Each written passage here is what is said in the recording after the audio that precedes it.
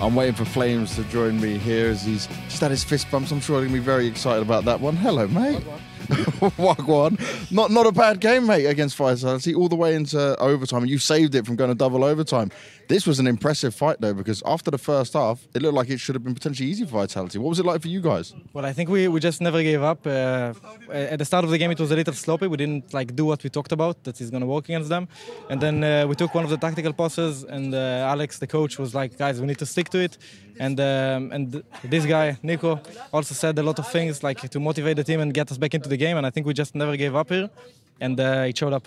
And you were down 14-10, you bring it to 15-14. At that point, was that already where you used to getting the string of T rounds together that you could believe in it, even though it is a, a harder side on a map like Overpass? Well, I think I think it was uh, well. Obviously, it was a little off. I think Abdul saved us with uh, you know with that full eco when he kills two with op, yep. and then I think we just started feeling the game a little bit more.